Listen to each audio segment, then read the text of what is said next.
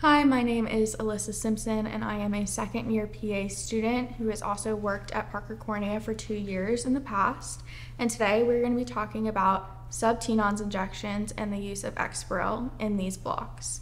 Um, so, when we do our Subtenon's blocks, we currently use curved forceps, Westcott scissors, a Weck-Cel that's soaked in proparacaine, and a milliliter of Exparel or bupivacaine, depending on what the patient would like to use.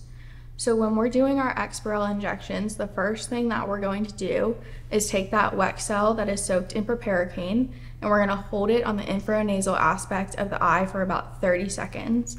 Sometimes you are going to have to move the Weck-Cel a bit more nasal, just or, I'm sorry, inferior in case there is some growth on the nasal aspect, such as a pterygium. Then using the curved forceps, you're going to pick up some of the conjunctiva and the Tenon's and make a small cut using the Westcotts. And you're gonna dissect down through that tissue with the Westcotts and make a channel for the angiocatheter. Then you're gonna guide the angiocatheter through that channel that you made and slowly inject the Exparel or the bupivacaine into the eye. Sometimes you can meet a little bit of resistance and it's okay to back out at that point and readjust your angle. We have been using Exparel at Parker Cornea for the past year, and we have found that it gives the patient the longest amount of pain control after surgery, with the anesthesia lasting up to 72 hours. So that's why we have found that we prefer to use Exparel here.